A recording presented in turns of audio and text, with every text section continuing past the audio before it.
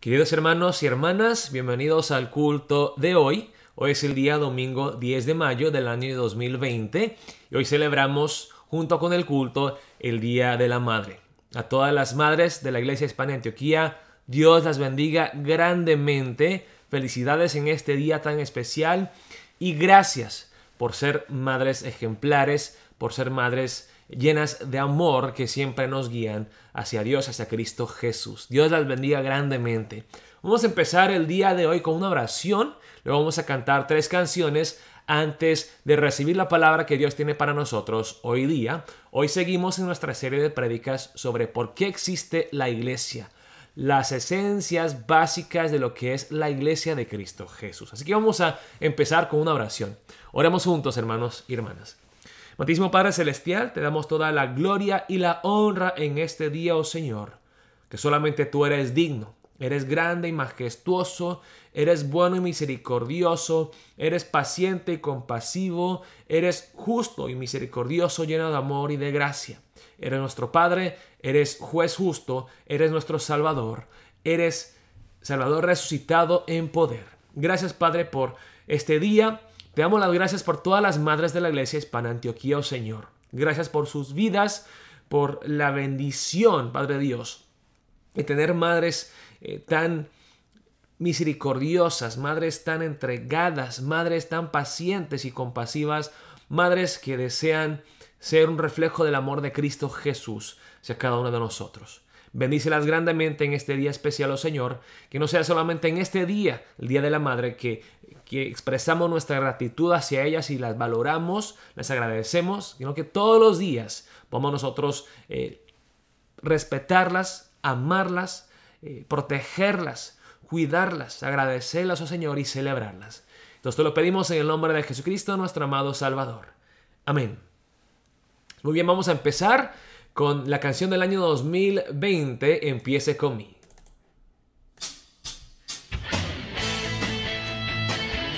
Vamos a aplaudir juntos, vamos a dar las manos, vamos a cantar juntos.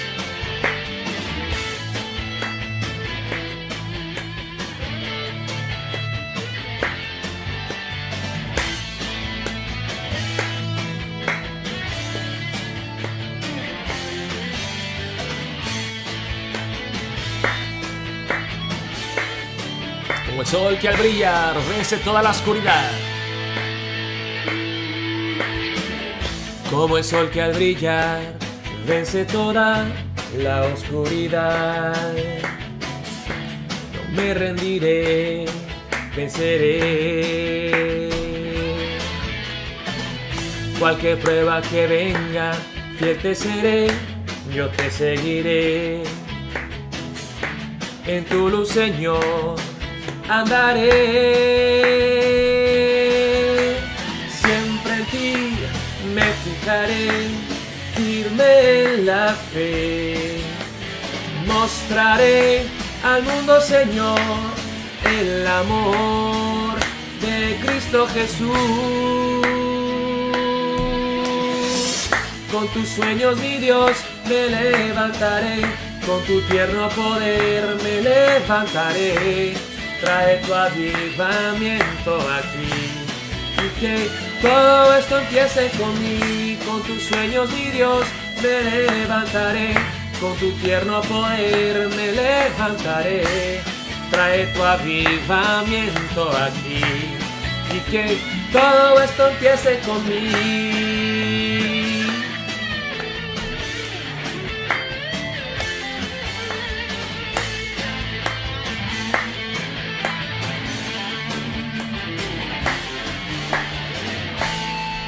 Sol que al brillar, una vez más, cantemos juntos. Como el sol que al brillar vence toda la oscuridad. No me rendiré, venceré. Cualquier prueba que venga, fiel te seré, yo te seguiré. En tu luz, Señor, andaré me fijaré firme en la fe. Mostraré al mundo, Señor, el amor de Cristo Jesús. Con tus sueños, mi Dios, me levantaré. Con tu tierno poder me levantaré. Trae tu avivamiento aquí. Y que todo esto empiece conmigo, con tus sueños, mi Dios, me levantaré, con tu tierno poder me levantaré. Trae tu avivamiento aquí y que todo esto empiece conmigo. Con tus sueños, mi Dios, me levantaré. Con tu tierno poder me levantaré. Trae tu avivamiento aquí y que todo esto empiece conmigo, con tus sueños, mi Dios, me levantaré. Con tu tierno poder me levantaré. Trae tu avivamiento aquí. Y que todo esto empiece conmigo. Aleluya, gloria a Dios. Cámbiame a mí, oh Señor. Úsame para tu gloria, para tu honra. Un aplauso fuerte a nuestro Dios. Aleluya. Gloria a Dios. Seguimos con nuestra próxima canción, que es de los montes.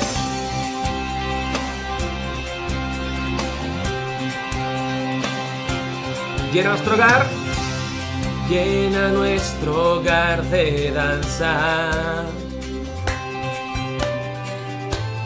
De tu gozo la ciudad. La injusticia tú quebrantas. Si se humilla tu heredad de los montes, de los montes a los valles, ya se escucha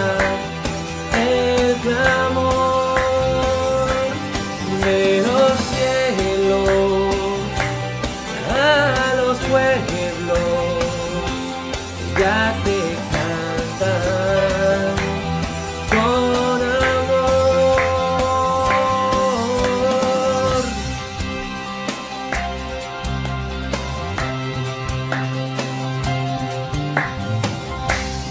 Tu luz vence las tinieblas al andar ante Llena tu gloria la tierra, llena tu gloria la tierra. Como el mar en plenitud. De los montes a los valles ya se escucha el clamor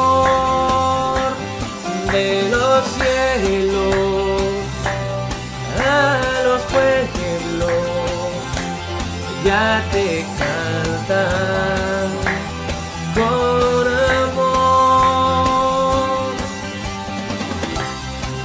De los montes a los valles a los valles ya se escucha el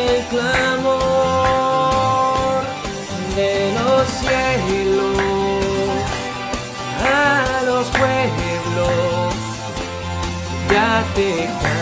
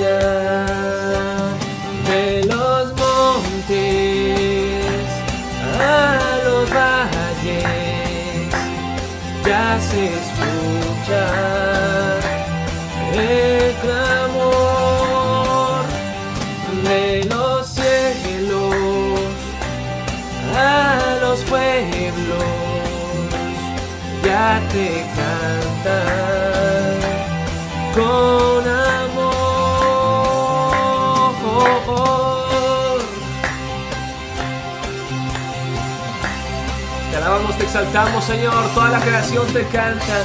Te adora. Aleluya. Gloria a Dios.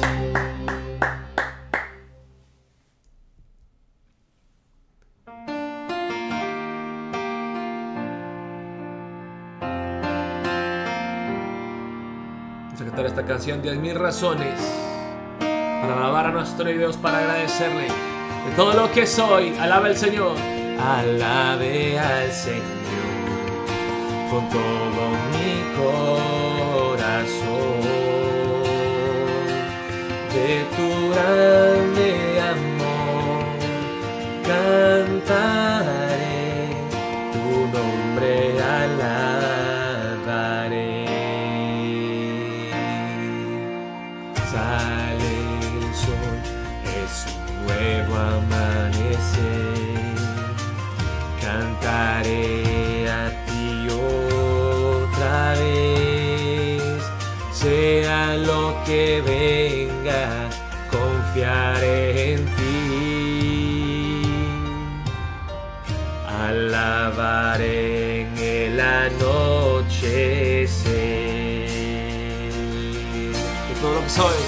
lo que soy, alabe al Señor con todo mi corazón. De tu grande amor cantaré, tu nombre alabaré.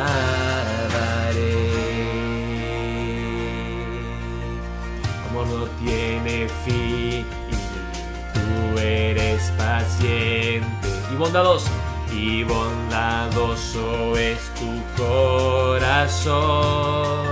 Por todo lo que has hecho, yo sigo cantando. Diez mil razones para alabar que todo lo que soy alabe al Señor todo mi corazón. De tu grande amor cantaré, tu nombre alabaré. En ese día cuando ya no tenga fuerzas y se acerque tu gloria. Mi alma cantará de tu amor sin final. Diez mil años para siempre más. Y todo lo que soy que todo lo que soy alabe al Señor con todo mi corazón. De tu grande amor cantaré, tu nombre alabaré.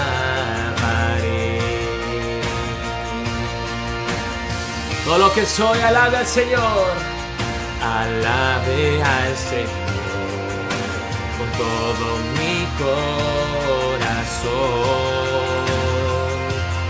De tu grande amor cantaré, tu nombre alabaré,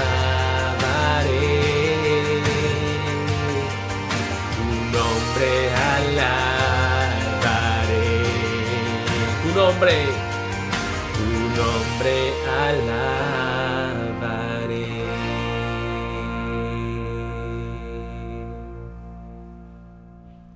Señor, como acabamos de cantar esta alabanza, Señor, tenemos más de diez mil razones para alabarte, para agradecerte, para exaltarte, oh Señor. Tú eres grande, eres majestuoso, eres digno, eres bueno, eres nuestro Dios y Padre. Todo esto lo pedimos en el nombre de Jesucristo, nuestro amado Salvador. Amén. Muy buenos días hermanos y hermanas, bienvenidos a su iglesia. Vamos a seguir en nuestra serie de prácticas hoy día sobre la esencia bíblica de la iglesia. ¿Por qué existe la iglesia? ¿Cuál es la función principal de la iglesia de Cristo Jesús? Y vimos el día martes, vimos el tema de la centralidad del Evangelio, que el Evangelio es todo en la vida cristiana. No solamente lo que necesitamos para llegar a ser salvos y luego desechamos, descuidamos, sino que es, eh, es el principio y es el fin. No es el ABC, sino la A a la Z, el alfa y la omega de la vida cristiana. Y vimos nosotros el día martes la cita textual del pastor Tim Keller. Bueno, me gustaría repasar brevemente para aquellos que, que están conectándose por primera vez o para aquellos que ya han estado fielmente asistiendo a los cultos eh, por este medio, por el YouTube, en todos los días, es bueno repasar lo que hemos visto. Estamos en la palabra de Dios en Mateo 28, versículos 18 al 20. Eh, es la gran comisión. Vamos a ver la palabra juntos en Mateo 28, versículos 18 al 20. Dice la palabra así. Y Jesús se acercó y les habló diciendo, Toda potestad me es dada en el cielo y en la tierra. Por tanto, id y haced discípulos a todas las naciones, bautizándolos en el nombre del Padre y del Hijo y del Espíritu Santo, enseñándoles que guarden todas las cosas que os he mandado. Y he aquí yo estoy con vosotros todos los días hasta el fin del mundo. Amén. La gran comisión las últimas palabras de Cristo Jesús. Hemos visto eh, en las últimas prédicas que hay cuatro verbos en la gran comisión, ir, hacer discípulos, bautizar y enseñar. Pero de estos cuatro verbos solamente hay un verbo imperativo. Imperativo que significa una orden que nos está dando Dios, algo que nos está mandando a hacer, que es hacer discípulos. Hacer discípulos. Amén. ¿Por qué existe la iglesia? Para ayudarnos a ser primeramente verdaderos discípulos de Cristo Jesús y segundamente para hacer más discípulos de Cristo Jesús. Podemos decir entonces que, que la meta de la vida cristiana es ser un verdadero discípulo y hacer más discípulos de Cristo Jesús. Llegar a ser un discípulo que hace más discípulos, que se reproduce, que predica el Evangelio y hace verdaderos adoradores obedientes, sumisos eh, a Cristo Jesús. Por eso existe la iglesia. Vimos el día martes cómo hacemos discípulos, dice en el versículo 19, por tanto, id y haced discípulos a todas las naciones. ¿Cómo? Bautizándolos en el nombre del Padre y del Hijo y del Espíritu Santo. Para bautizar a una persona, uno tiene que compartir las buenas nuevas del Evangelio con esa persona. Tiene que compartir el Evangelio de Cristo Jesús. Entonces vimos el día martes que el Evangelio es todo para el cristiano. Ahora, vamos a repasar brevemente lo que vimos el día martes, porque yo creo que que va a ser de, bendición para aquellos hasta que los que han eh, visto ya la prédica del día de martes. Em, utilizamos diferentes tratados evangelísticos en nuestra iglesia. Una de ellas es el tratado de, Living Waters, de aguas vivientes. Eres una buena persona. Esa ya se la saben. Otra que queremos usar es quién será el rey. Dos formas de vivir. Por un grupo llamado Matías Media en Australia. ¿Quién será el rey? Eh, el problema con el, pecado, con el mundo, hermanos y hermanas, no es que el pecado es malo. El problema es que eh, nosotros no nos sometemos al buen rey, a Dios. El problema del mundo es un problema de autoridad, de quién reina, de quién va a ser tu rey. vamos a, ver aquí este tratado y esto entonces eh, nos enseña claramente eh, que la salvación, la verdadera salvación, el llegar a ser un verdadero discípulo de Cristo Jesús, no es solamente recibirlo como Salvador, sino someternos a Él como Rey y como Señor de nuestras vidas. Jesús tiene que ser nuestro Rey para que seamos nosotros verdaderos cristianos. Dice aquí, ¿alguna vez te has preguntado cómo sería si estuvieras a cargo de tu familia? ¿O si fueras el director de tu escuela? ¿O tal vez te gustaría ser el rey de todo el mundo y estar a cargo de todo, tener autoridad absoluta? La Biblia, que es el libro de Dios, nos habla de quién es el rey de todo y hace una pregunta muy importante. ¿Quién será tu rey? Pero vamos a comenzar desde el principio. Vamos a, repasar muy brevemente. Entonces empieza con esta imagen que vemos aquí. Dios es el amoroso rey de todo porque Él lo hizo todo. Él es el Dios, Él es el rey justo porque Él es el creador. El problema es que no nos agrada eh, someternos a Dios como rey. Eh, no nos gusta obedecerle como rey. Entonces, ¿qué pasa? Que el hombre eh, se revela en contra de Dios, desobedece, dice aquí, nosotros le decimos no a Dios. Entonces vemos aquí esta X que está tachando a Dios como rey de nuestras vidas. No a Dios, pues tratamos de tomar su lugar y de ser nuestros propios reyes. Nos ponemos nuestra corona chica, la corona pequeña, y decimos, vamos a ser nuestros propios reyes, yo mando aquí.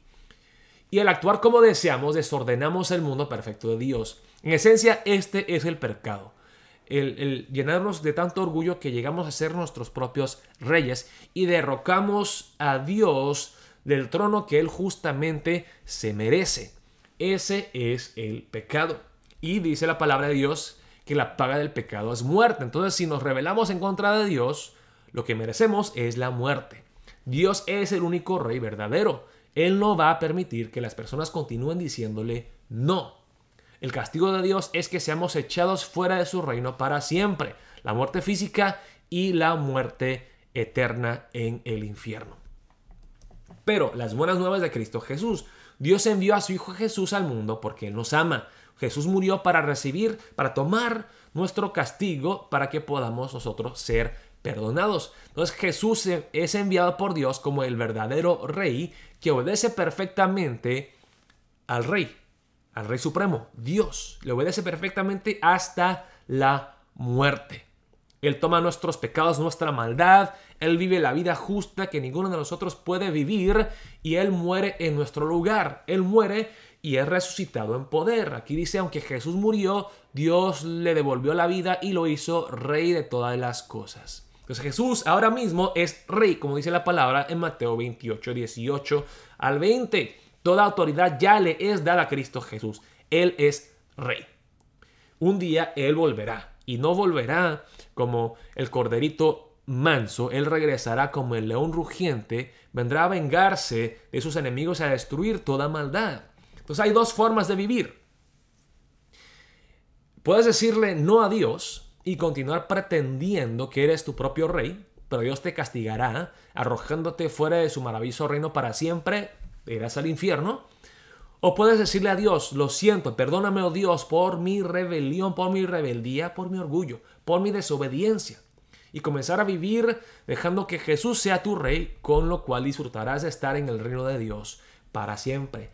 ¿A quién tendrás por rey? La pregunta no es, ¿ya has recibido a Jesucristo como tu Salvador?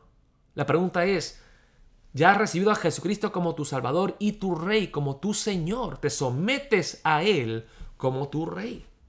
Entonces, eh, este es el Evangelio, hermanos y hermanas. Eh, ya lo vimos el día martes. Y entonces, este es el Evangelio que tenemos que predicar para que se salven las personas, pero también es el Evangelio que tenemos que siempre tener en mente para nosotros seguir creciendo como verdaderos discípulos y el mensaje que tenemos que predicarle a los demás para que ellos lleguen a ser discípulos y sigan creciendo en su discipulado. La centralidad del Evangelio en la vida cristiana, dice aquí el pastor famoso Tim Keller.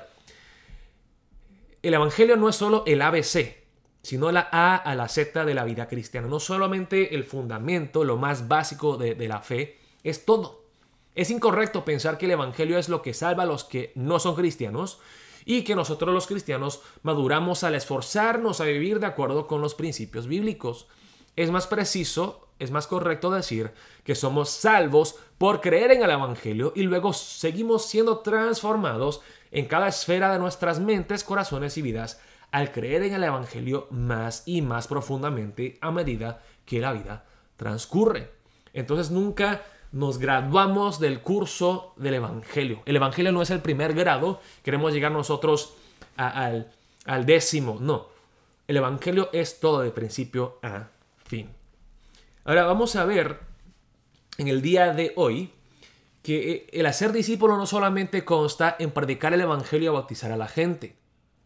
También uno tiene que darle seguimiento a la persona para que sea un verdadero discípulo, un verdadero cristiano, porque dice en el versículo 20, enseñándoles que guarden todas las cosas que os he mandado, y he aquí yo estoy con vosotros todos los días hasta el fin del mundo. Amén.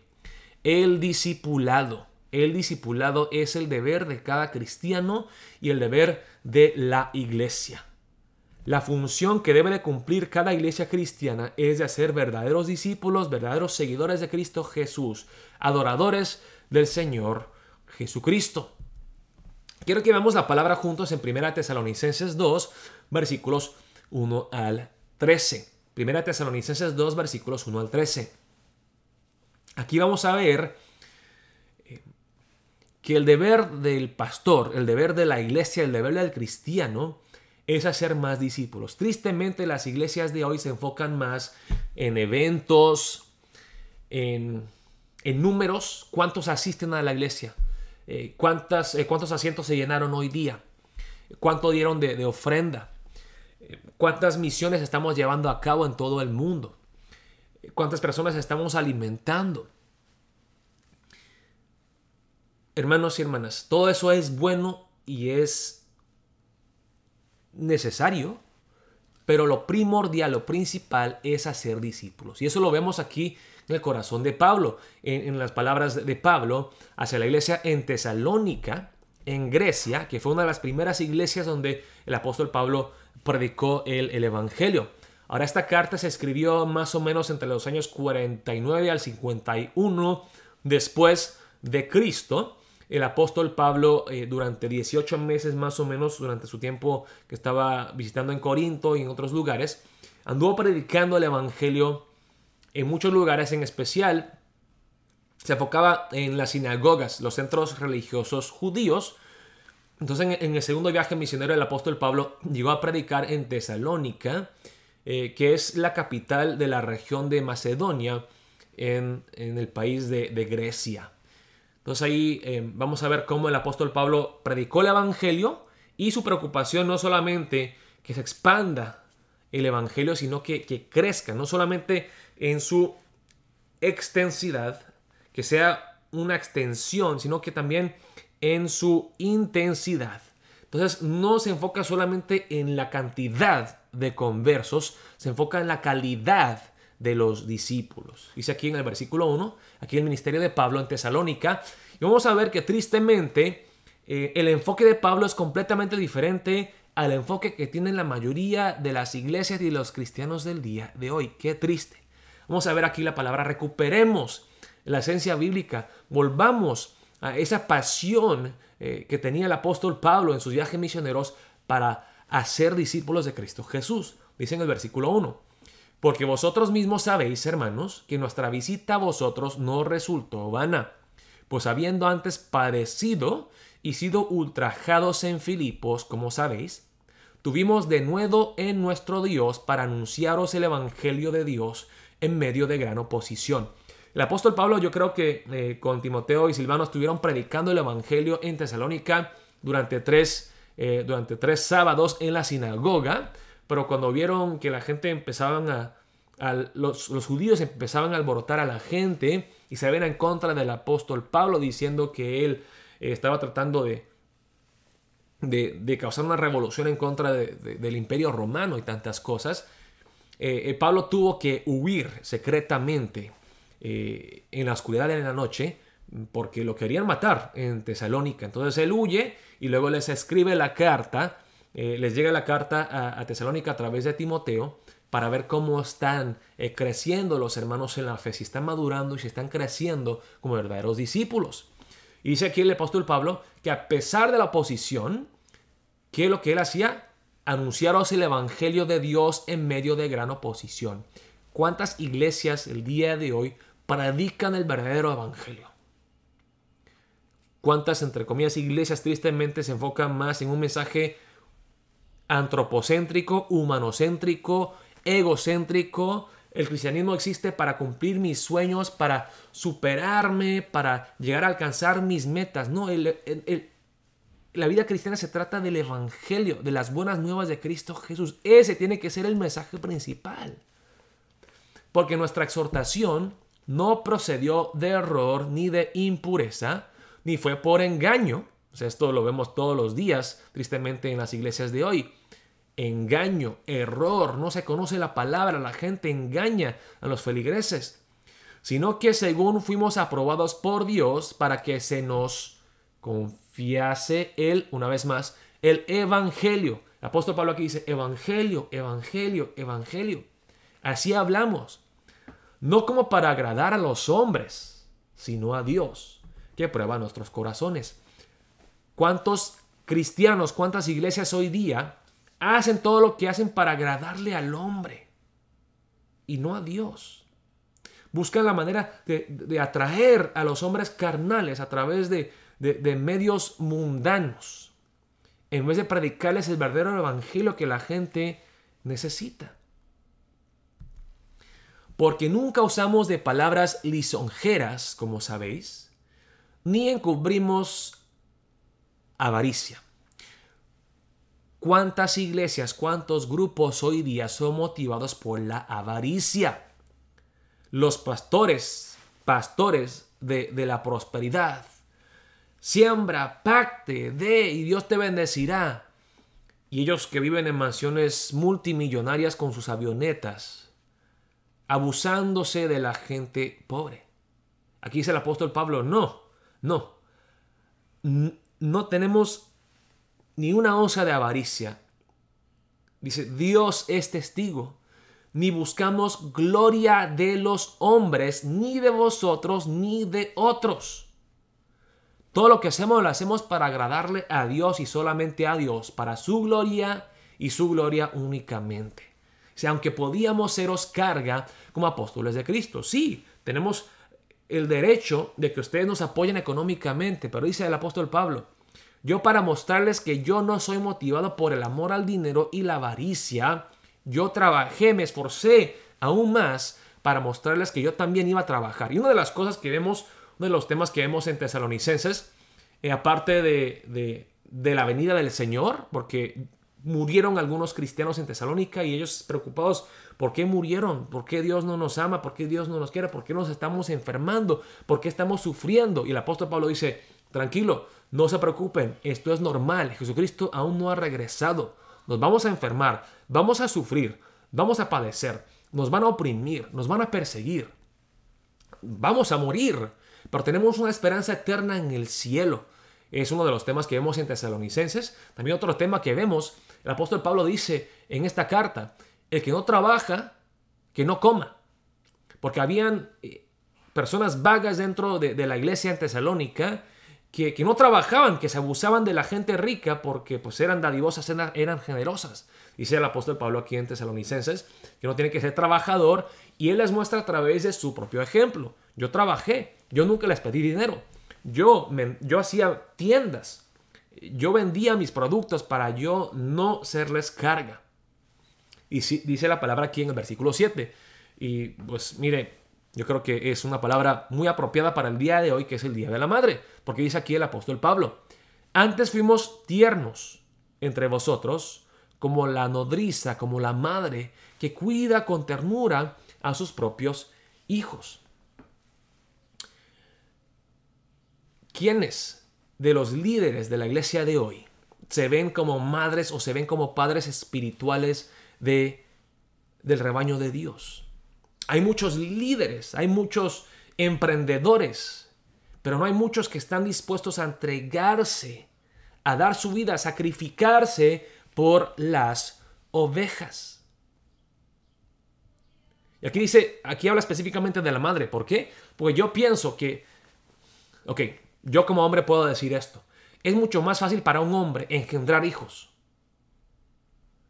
Es la madre que tiene que cargar el bebé en su vientre durante nueve meses y luego es la que amamanta a los hijos y los cuida.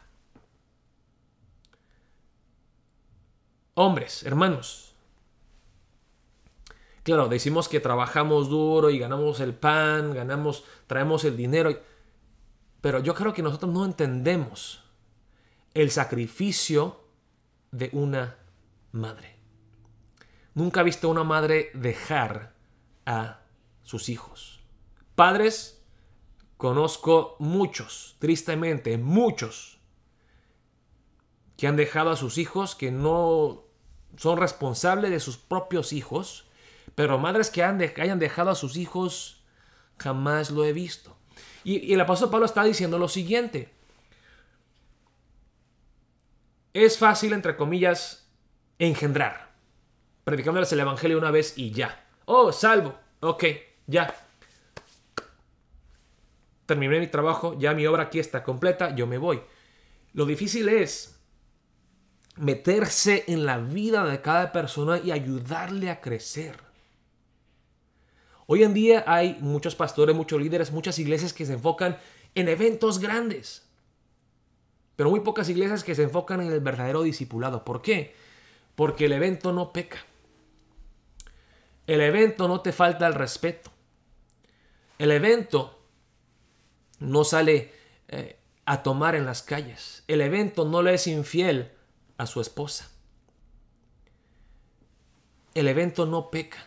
Es mucho más fácil lidiar con eventos y contar números, hablar con estadísticas, que ensuciarse, meterse verdaderamente en el lodo de esta vida y ayudar a los hermanos a crecer en la fe. Dice aquí el apóstol Pablo, yo fui como una madre. Yo nunca los dejé, yo nunca los abandoné, yo me sacrifiqué. Y sigue en el versículo 8, tan grande es nuestro afecto por vosotros, los amo tanto, dice, que hubiéramos querido entregaros no solo el Evangelio de Dios, sino también nuestras propias vidas, porque habéis llegado a sernos muy queridos.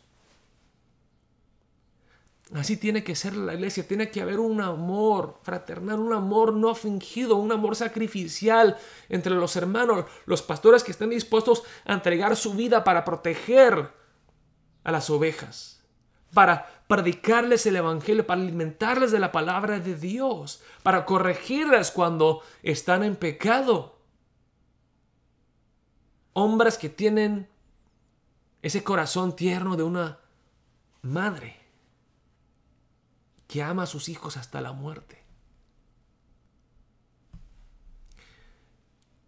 Ese es el trabajo que tiene que hacer una iglesia.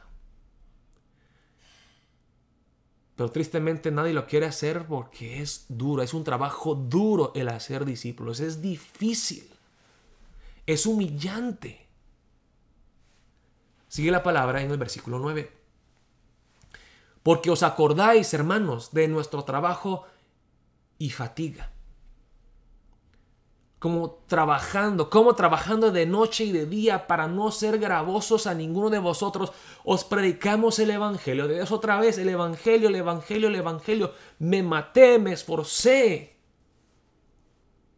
Dice aquí, trabajando de noche y de día, trasnochando desvelado el apóstol Pablo. ¿Por qué? Para predicarles el Evangelio y ayudarles a crecer en conformidad a Cristo Jesús. Esa era la meta de Pablo. No quería dinero, no quería reconocimiento, no quería que la gente lo aplaudiera. Él simplemente quería ver a Cristo formado en cada hermano en Tesalónica.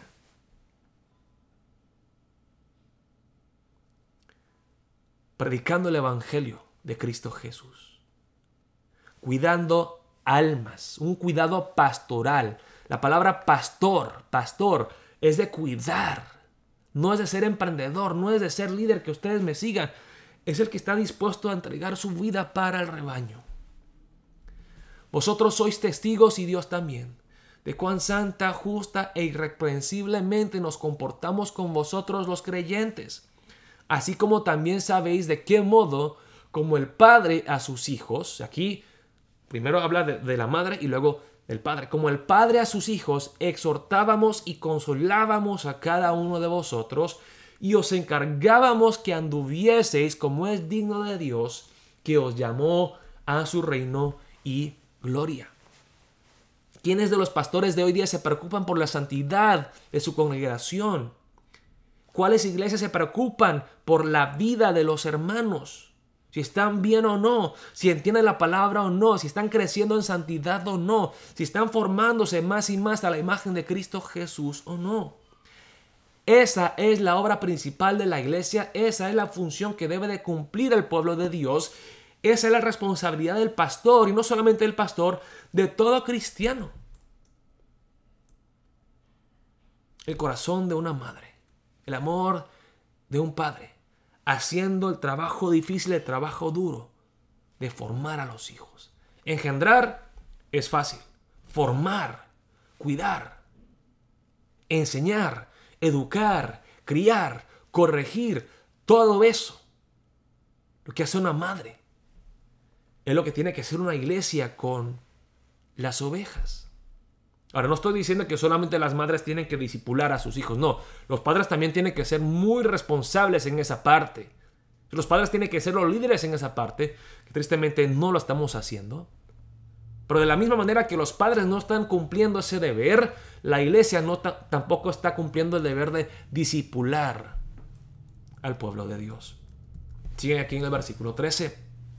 Por lo cual también nosotros sin cesar damos gracias a Dios de que cuando recibisteis la palabra de Dios que oísteis de nosotros, la recibisteis no como palabra de hombres, sino según es en verdad la palabra de Dios, la cual actúa en vosotros los creyentes. Amén.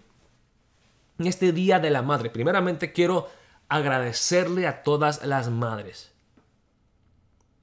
que han sido fieles, que se han entregado de una manera sacrificial a un trabajo muy duro, un trabajo arduo.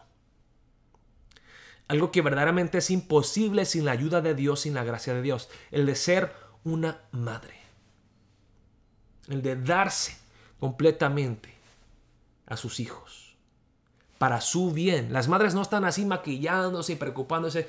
Ay, a ver si mis uñas están pintadas. Y en nuestra iglesia no hay ninguna mujer así, que yo sepa. Todas están dispuestas a dar hasta su vida por sus hijos. Sharon a veces me dice, ay, pero ya me siento muy vieja y ya, después de tener tres niños ya siento que tengo cincuenta y pico años y ya estoy muy débil, estoy gorda y, y ya estoy, estoy viejita, estoy toda arrugada y ya mi cuerpo no es como antes. Y ya no estoy linda como antes. Y le digo a Sharon, no, estás preciosa porque fue por tu sacrificio y por tu esfuerzo que nuestros hijos han crecido. Te agradezco lo que tú haces por nuestra familia. Las veces que vas a trabajar en esperanza, pero más que eso, las veces que te sacrificas en el hogar para alimentar a nuestros hijos para educarlos, para criarlos, para corregirlos, para mantenerlos siempre en el camino de Dios, para predicarles el Evangelio a través de tu vida, tu ejemplo, a través de tu palabra. Y de la misma manera que una madre hace lo imposible sin buscar los aplausos del hombre, como dice aquí el apóstol Pablo. Yo no busco la gloria ni de vosotros, ni de nadie, ni del hombre, lo hago para Dios porque yo sé en quién he creído y quién me ha salvado y para quién es la gloria. Así son las madres también. Tristemente nadie les agradece. Yo igual soy muy malo con mi madre. Soy muy malo con mi madre. No le agradezco. Yo siempre le, le estoy reclamando que por qué lavaste la ropa así y por qué estás limpiando todo y dejas todo eh, donde no debe de estar y, sacas este libro y lo pones por aquí, por allá. Ella lo hace con amor. Y a veces no le agradezco todo lo que ella hace en sacrificio en amor por mí. Nadie quiere hacer lo que hace una madre. Nadie quiere hacer lo que debe de hacer la iglesia. Nadie quiere ser un pastor. Quiere ser un líder reconocido, un predicador elocuente, predicador, pero no pastor. Quiere enfocarse en predicar el Evangelio y en salvar, pero no meterse en la vida de la gente, a disipular verdaderamente a la persona, a llorar con esa persona, apoyarlo en tiempos de necesidad, a corregirlo cuando lo necesita, a sufrir con él o ella. Esa es la obra de la iglesia, es la obra que le corresponde al verdadero pastor. En fin, es seguir el ejemplo de Cristo Jesús, que hizo lo que nadie quería hacer para la gloria de Dios. Cargar la cruz y morir. El martirio. Ser madre es, es un martirio, es sacrificio. El ser cristiano, el ser pastor, el ser miembro de una iglesia, hermano, hermana, el ser diácono, diaconisa, es martirio, es sacrificio, es muerte, es sufrimiento, es padecer. Por eso es lo que nos ha llamado Cristo Jesús. El llamado es el de hacer discípulos. Hermanos, hermanas, no nos avergonzamos del Evangelio y entreguémonos al 100% para cumplir esta misión que Cristo Jesús nos ha dado. Ya llevo 10 años sirviendo aquí en la iglesia de Antioquía y lo que más me duele para mí, me arrepiento de no haberme enfocado más en el discipulado. He sido más un trabajador social. O un bombero andando apagando incendios por aquí, por allá. Un chofer, un traductor, un intérprete. Muchas cosas que yo, yo hago con gusto. Pero tristemente no me he enfocado en, en la obra de hacer discípulos. Es fácil hacer conversos. Es difícil, no, más bien diría, es imposible sin la gracia de Dios, sin el poder del Espíritu Santo, hacer discípulos. Hermanos, hermanas, aquí en la iglesia hispana Antioquía no queremos hacer conversos, queremos ser y hacer discípulos.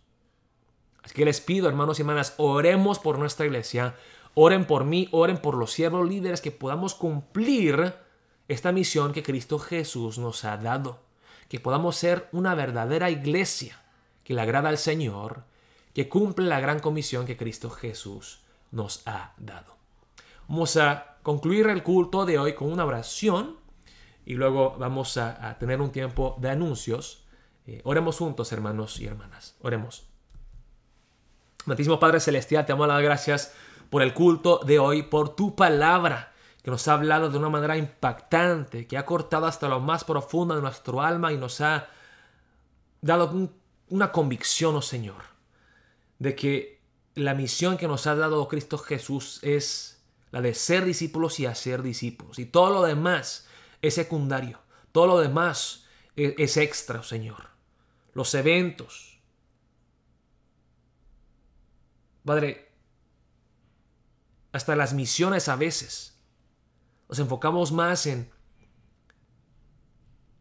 en hacer un evento en Petacala, en Oaxaca, y no en predicar el Evangelio, el verdadero Evangelio y hacer discípulos. Perdónanos, oh Señor, que nos distraemos, que nos desviamos a veces eh, del camino que, que, has puesto para nosotros, oh Señor.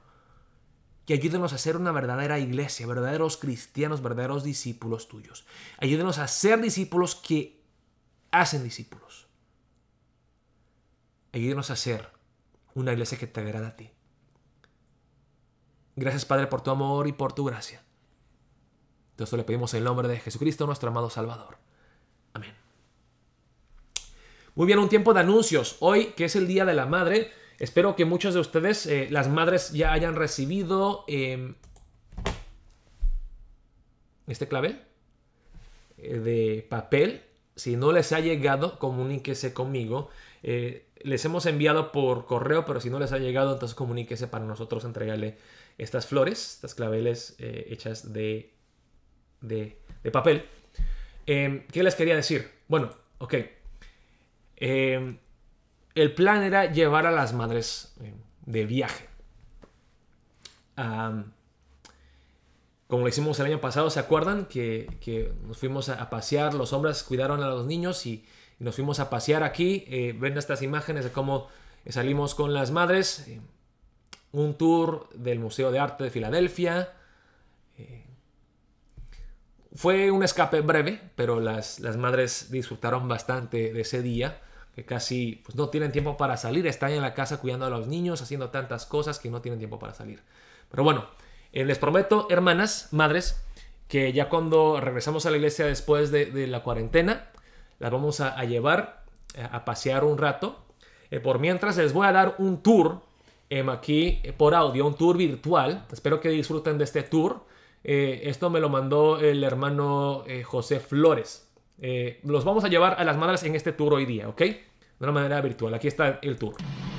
Vamos para la playa. No te pierdas este sensacional plan vacacional para toda la familia y disfrutar en lo que resta de este mes de marzo. 8 y 30 de la mañana, salida desde el baño, llegada a la cocina, donde desayunaremos huevitos revueltos con pan y chocolate. Después del desayuno visitaremos las habitaciones. A continuación, se realizará un taller de organización de cama, gavetas, closet, estantes y limpieza en general. A la 1 de la tarde, almuerzo en la cocina. A las 2 y 30 de la tarde, un motocito o si está en el sillón. Por la tarde visita a la sala donde se servirá el café caliente con galletas y además tiempo libre para recorrer de los pasillos. Regreso a última hora de la tarde. Sea parte de este sensacional plan vacacional para toda la familia. ¡Feliz viaje! Creo que muchas de las hermanas se están riendo o se están, están llorando porque dicen, pastor, ese tour lo hago todos los días menos la siesta. Eh, siempre ando organizando, ando cocinando, ando por aquí, para allá, en el baño, en la cocina, en los pasillos, ando como loca eh, en la casa. A las madres, muchas gracias. Les prometo que les voy a llevar eh, en otro tour, en otro viaje, no este en el que acabamos de, hacer. cuando ya regresamos a la iglesia, los hombres se van a encargar de los niños y vamos a llevarlas quizá tal vez a, comer en un restaurante o, a pasear un rato ya en tiempo, ya un tiempo mejor, cuando hace sol, cuando está más caliente y ya esto del coronavirus esté un poco más, más calmado. Un tiempo de anuncios. Eh, vamos a hacer el anuncio de los ganadores de los concursos el día martes. ¿ok? El día martes le vamos a anunciar los ganadores. Eh, eh, todos los días estamos con el video devocional em, de, de lunes a sábado, todos los días. El sábado tenemos oración a las 6 de la mañana y el martes tenemos culto como siempre a las 8 de la noche. Esta semana voy a buscar la manera de visitar a las personas que ahorita están necesitando eh, visitas. Eh, si necesitan oración también, por favor, comuníquese conmigo o con los líderes de sus células para estar siempre en oración por cada uno de ustedes. Con eso entonces vamos a concluir el culto de hoy. Vamos a, orar por la ofrenda que vamos a entregar a nuestro Dios. Vamos a recibir la bendición para despedirnos. Oremos. Santísimo Padre Celestial, te damos toda la gloria y la honra en esta mañana, oh Señor. Gracias por tu palabra. Padre, la iglesia tiene el deber de hacer discípulos. Sabemos que es un trabajo muy duro, es eh, algo que la verdad no le gusta a mucha gente, eh, pero nosotros sabemos que ese es el llamado que nos has dado y queremos obedecerte, oh Señor Cristo Jesús. No queremos enfocarnos eh, en lo que busca el mundo, Señor. Queremos agradarte a ti. Queremos hacer lo que nos mandas en tu palabra, oh Dios. Te pedimos, Padre, por las madres el día de hoy, bendícelas grandemente y que ellas puedan sentirse agradecidas, oh Dios, con tu amor y con tu gracia en este día y que nosotros podamos expresar nuestra gratitud hacia cada una de ellas en amor. Padre, te pedimos que nuestra iglesia sea una iglesia que, que es como una madre que se sacrifica para dar vida a las personas, que nos enfocamos no solamente en hacer conversos, sino también en el discipulado. Ahora vamos a recibir la bendición de Dios. Ahora la gracia inmerecida de Cristo Jesús nuestro Salvador, el amor grande, infinito de Dios Padre, la convicción y comunión del Espíritu Santo estén con ustedes, el pueblo de Dios, llamados a ser discípulos y a ser discípulos, a ser la iglesia que hace el, trabajo, el trabajo duro del discipulado para la gloria de Dios. Que todas estas bendiciones estén con ustedes, sus familias y sus hijos, por siempre y siempre. Amén. Bien, con eso concluimos el culto de hoy. Dios los bendiga, hermanos y hermanas. Nos estaremos viendo mañana para el devocional.